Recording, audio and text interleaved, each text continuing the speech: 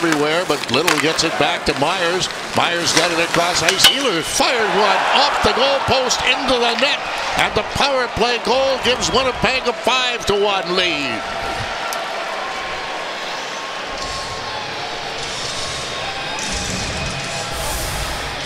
Now Winnipeg just has terrific puck possession on this power play. Just keep moving it to the outside. Tyler Myers is the guy that's going to hit Ehlers over on the right side of your screen right here.